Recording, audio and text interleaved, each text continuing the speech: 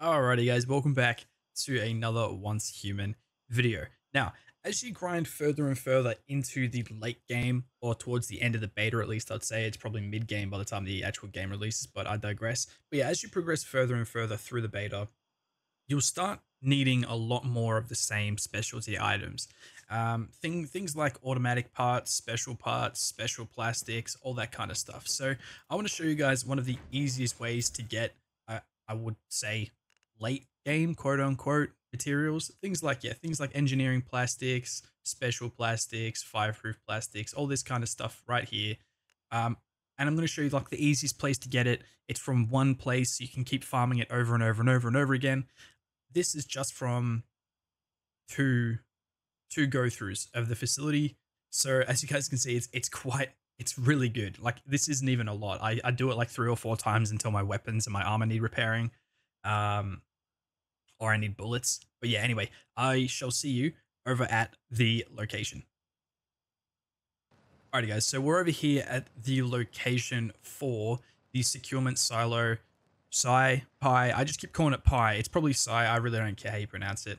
But um, yeah, so you want to come to this location right here. Now, it is rough coordinates 5, sorry, 2506 by negative 2606. It's just down the road from a teleportation tower.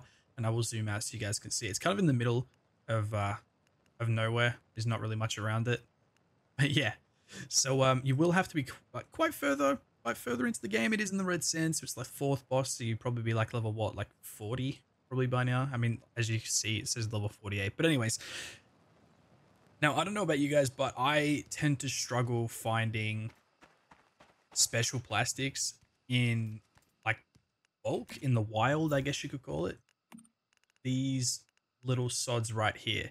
Now, I only have this many because I've literally just been grinding the securement silo over and over and over and over again. And it's super fun. It's not super, it's not, it's like it's challenging, but it's not super challenging. And you get an absolute ton of stuff. Not to mention as well, you do actually get quite a few of these uh, special furniture formulas as well. Uh, as you can see, so we've got like a wall clock, we've got impressionism or whatever it is. It's artwork. We've got a chair. Like we got loads of stuff I've actually um, activated a few of them, so they're not all there. But yeah, you get tons of stuff from this place. It's super easy. There's only one boss. There's like I, I believe there's two gear crates as well. Um, yeah, it's it's it's super fun. So I'm gonna run through this um, real quick with you guys. It shouldn't take too long. But yeah, and then you'll get the gist of what I do, where to loot. And then um, I'll let you guys run through it. Alrighty, so I'm quickly going to change my shotgun over to my sniper. Perfect.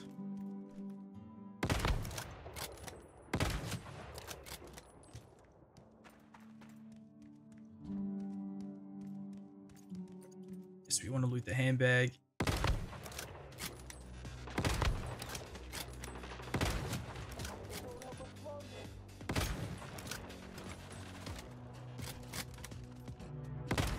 Yeah, so these guys, this, um, I think it's level 45 these guys are at. They're super easy. Um, and I'm not even like, I'm a level 50, but like I'm not fully like kitted out yet. It does take quite a while to get fully kitted out in this game. But yeah, so I could be a lot further on. Other than that, I think it takes about 15, 20 minutes max. Depending. I hate those red ones with the grenade launchers.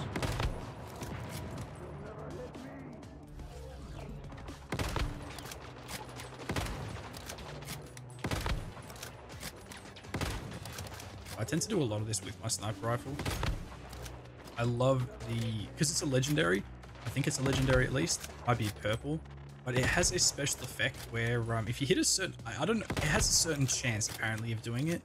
But if you hit a certain place, I think it's like the top of the head, it always seems to go off. But basically, it's that secondary explosion effect. It does more damage than the actual damage of the rifle. It's kind of crazy sometimes.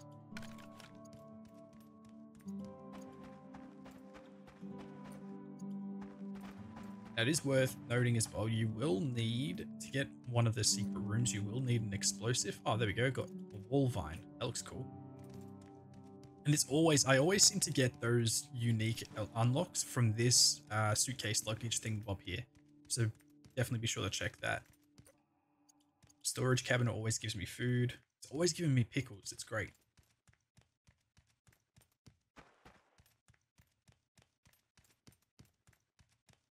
To get into the next area, we need to loot the storage crate and grab the card. Perfect. The harpoon gun, goods bag.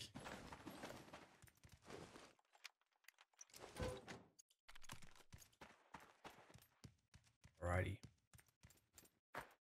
Now I I don't think there's any second boss in this location like there is others.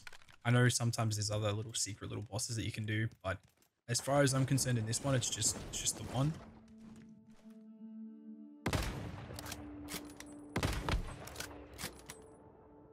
See if I hit above the the head where the light is, it seems to go off.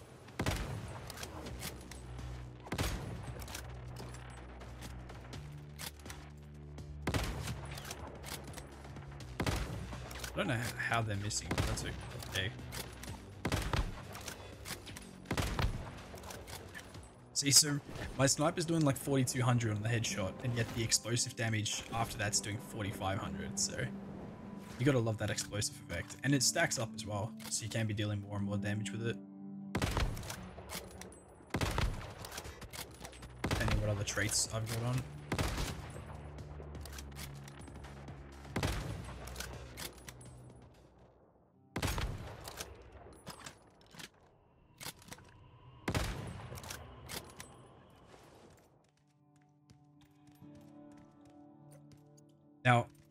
Just want to I just want to touch on something as well. Like all the stuff that we're like we're looking for, it has nothing to do with the actual like fighting or the actual like level itself. It's always searching uh, crafting boxes and storage crates and just picking up everything that can be scrapped.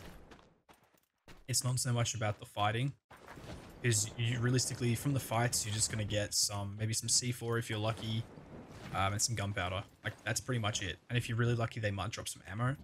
But other than that, from the fighting, you're not going to get anything good. It's all from looting these areas.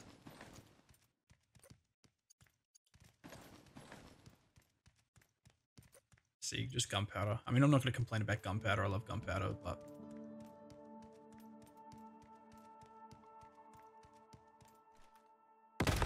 I believe there's about 70 enemies you have to kill plus the boss.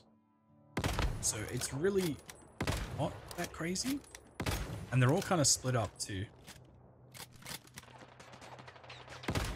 Oh, that one I missed.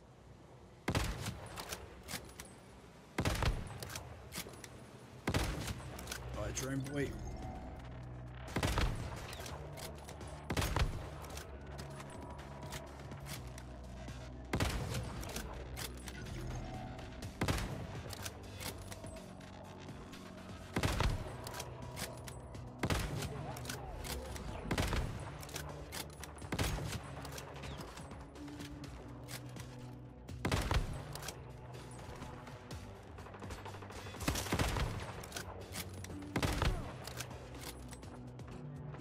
Oh crap, there's the big boy. I was just about to say, where is he?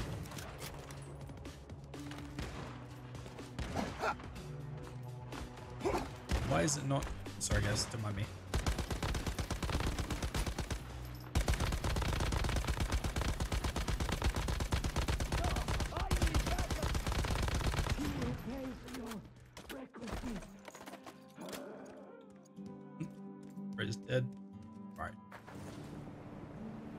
I guess that maybe that's like the secondary little mini boss area that most others have, but sometimes it's like separated away from the group, like it's hidden by something, but I couldn't seem to find anything. I thought maybe it was behind the curtains, maybe you have to use like your uh, your space time ability thing, Majiggy, your Q, but yeah, no, I couldn't, I couldn't find anything.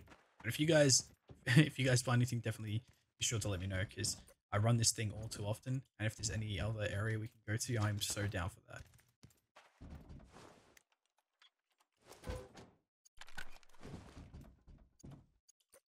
Don't forget, there is hidden handbags and stuff in there, special materials, perfect.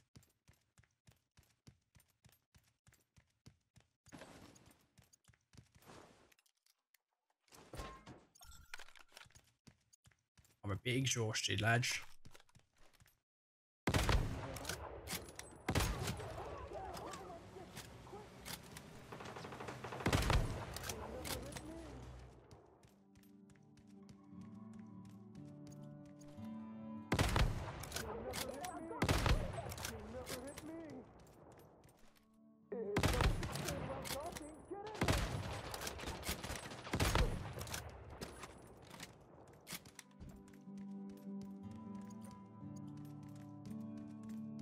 Sorry guys, I'm trying to go through this as quick as I possibly can. There is, there's no, there's no real enemies now after this. It's just the boss fight. Well, there is enemies at the boss fight, but no more. We just have to do a quick little challenge through the lasers and we get a second gear crate because there's two gear crates. Uh, two gear crates in this level. I wish there were weapon crates because, man, I need those weapon blueprints bad, but that's okay. Alright, so you can either go this way or you can go this way. This one is where the gear crate is. Some will just commando dive my way through most of these. They will, some actually do do damage, some don't. Ha, do do. Um, but yeah, so just be careful because they do do, they do like three quarters of your HP. Yeah, And I'm loving those platinum crystals as well.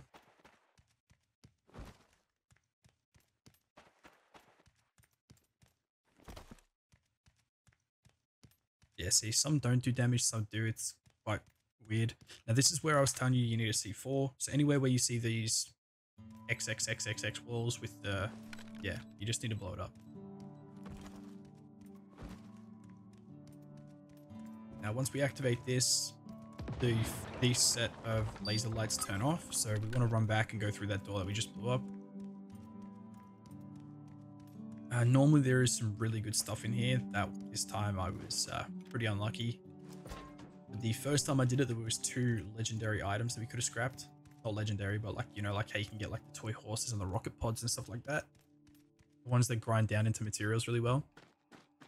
Now this one's really strange. So it's right there. He's in the fridge, right? So he has a few different like levels. So right now he has a shield. The shield is the hardest to take down, and it's not really that hard, but it's like, you know. So once you take the shield down, then he is immune and you have to shoot his generators. To get to the generators, you have to use his little crystal things that you find on the floor to break down the barrier to shoot then generators, and you have to do that three times, and then he's basically unimmune and you can just absolutely like smoke him. So I like to just sit in here for a little bit and just toast him up.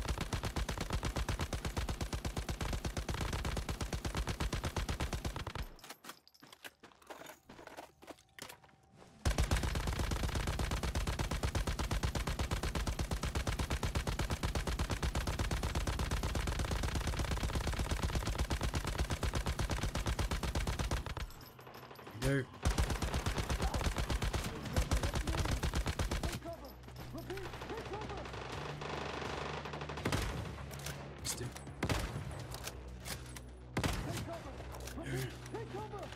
Now you have to watch out for the icicles falling down from the ceiling. If they hit you or you're in the radius, you instantly die.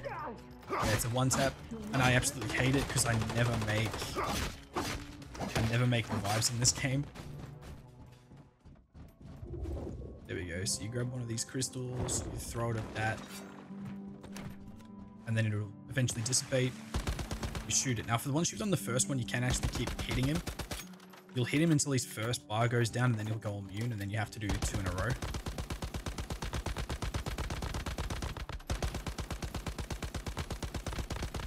Go immune in a second. There we go.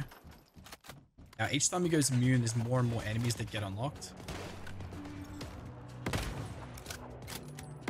Yeah, so he's unfrozen uh, a Rosetta Elite, is the minigun dude down there.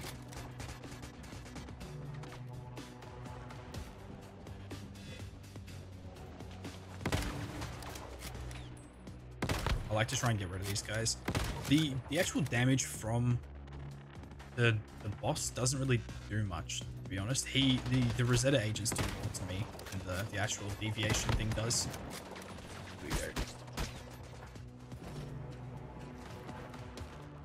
Gonna look for another crystal.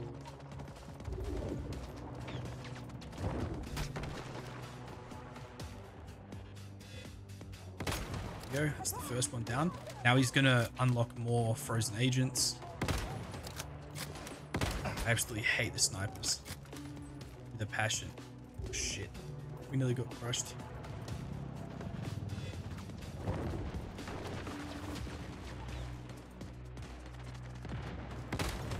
Alrighty. Oh shit. Yep, see, there you go.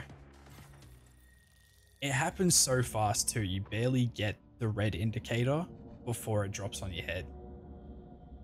Now, so I would recommend taking in um, revives or whatever they're called, stamina shots. I don't even know what they're called at this point because you do have to start this again. Alright, so now all the shields have been taken down. He is like completely unimmune to everything, so you can just absolutely go ham on him. I like to get back up to the top. Um, it's much easier to hit him from up top. You just have to take out all the snipers and whatnot.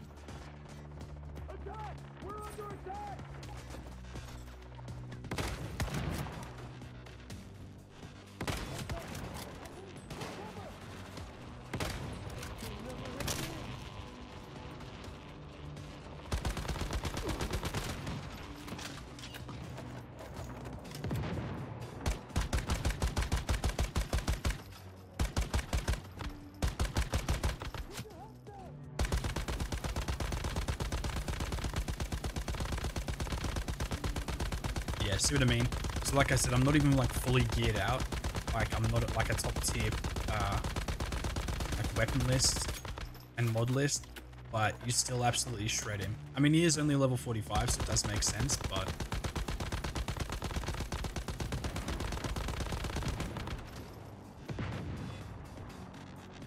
Now, he's dead. We just have to focus on the rest of the Rosetta agents.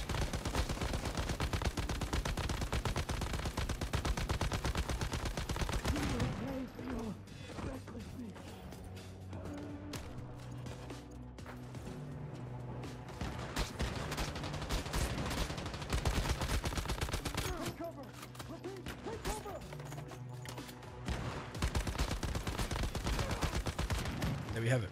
Nice and easy. Normally it's a little bit more smoothly than that, so I do apologize. Now, once you get to the top and claim the reward, there is sometimes a um, H37 deviation floating around as well. I think I've done this about 10 times now and I've got three of them, so it's it's not the best odds, but honestly, that's that's pretty darn good odds if you ask me. But um, yeah, guys, so this is honestly the best way I found to get myself loads of uh, the end game kind of uh, lootables and especially that special plastic man. I can't get enough of this. It's used in literally everything. Weapon manufacturing upgrades gear manuf- like gear build uh, gear upgrades gear calibration uh, what is it? Cars car upgrades like you name it pretty much special plastic is used in everything. So the more of this you can get um, the better. So i do recommend just doing this. It runs a lot more smoothly than i just shown you so i do apologize. But yeah honestly guys yeah just just trust me. Do this. You won't regret it. Thank me later. Subscribe for more. I'll see you all in the next one. Take it easy. Peace.